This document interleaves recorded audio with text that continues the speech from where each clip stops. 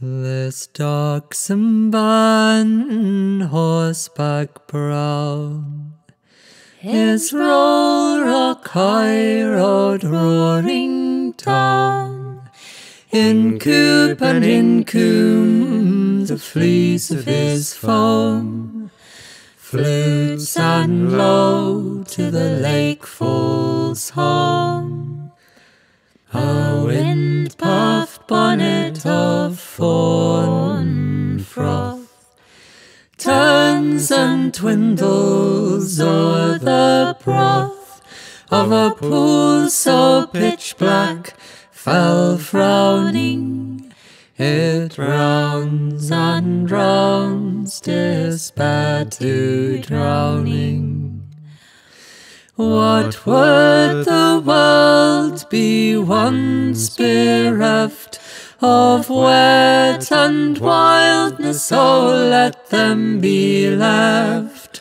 Let them be left, the wildness and wet.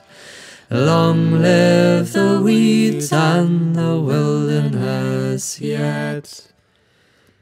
Decked with dew, dappled with dew, are the groins of the braes that the brook treads through. Wiry heath pags, flitches of fern, and the bed bonny ash that sits o'er the burn. Where hares hold council and dread drake sport, the eat trout to the turf resort, and boglarks flout their fine fanfare, corkscrewing song through the high sky air. What would the world be once bereft of wet and wildness? So let them be left.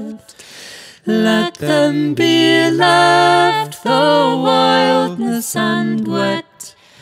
Long live the weeds and the wilderness yet.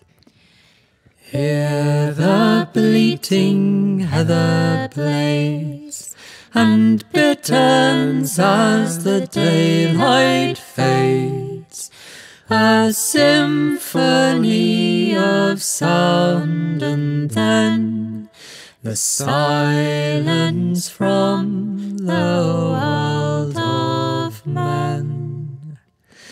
When all is seared and smeared with toil, man smudge and smell ploughed through the soil.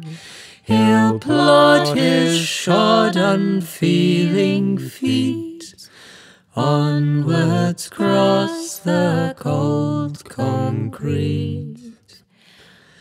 What would the world be once bereft of wet and wildness? Oh, let them be left. Let them be left, the wildness and wet.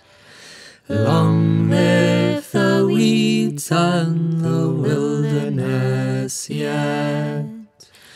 Long live the weeds and the wilderness yet.